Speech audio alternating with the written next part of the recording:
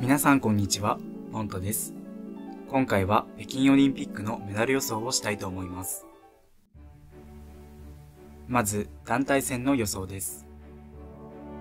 1位ロシア、2位アメリカ、3位日本と予想します。今回の世界選手権で3つの金メダルを取ったロシアが確実に優勝するでしょう。ただ、2位、3位に関しては、アメリカ、日本、カナダの争いになると思います。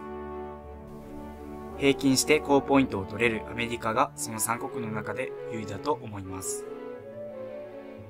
3位も接戦になることが予想されますが、シングルスで高ポイントを確実に取れる日本がわずかに優位だと思います。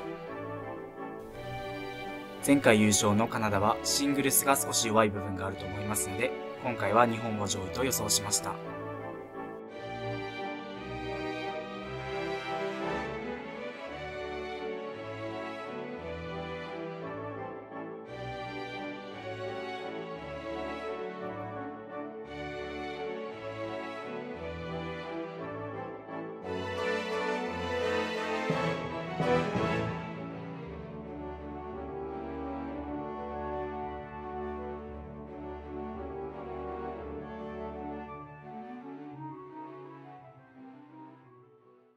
続いて男子シングルの予想です。1位、ネイサン・チェン選手。2位、羽生結弦選手。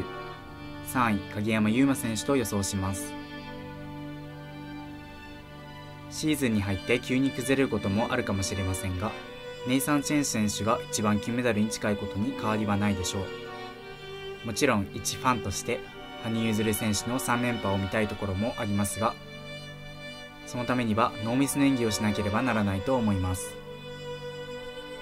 また3位には今日本で一番勢いのある影山優真選手が入ってくることを予想します。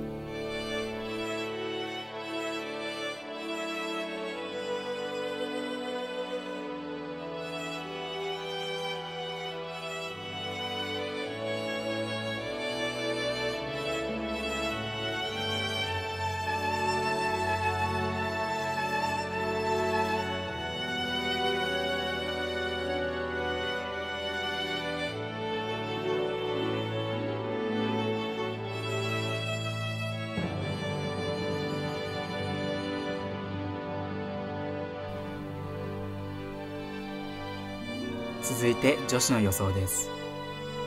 1位、カミラ・ワリエワ選手。2位、アンナ・シェルバコワ選手。3位、アレクサンドラ・トゥルサー選手と予想します。今回の世界選手権でロシアが表彰台を独占しましたが、ロシアには強い選手がたくさんいて、どの選手が出ても同じ結果になった可能性があります。世界で勝つよりもロシアで勝つことが難しいです。ワリエワ選手とシェルバコワ選手はほぼ間違いなくオリンピックに出場すると思いますが、3人目に関しては予想が難しいところです。しかし、ロシアの表彰台独占はとても硬いものと思います。ロシア勢以外に唯一この表彰台争いに絡めるのは日本の紀平梨花選手だけでしょう。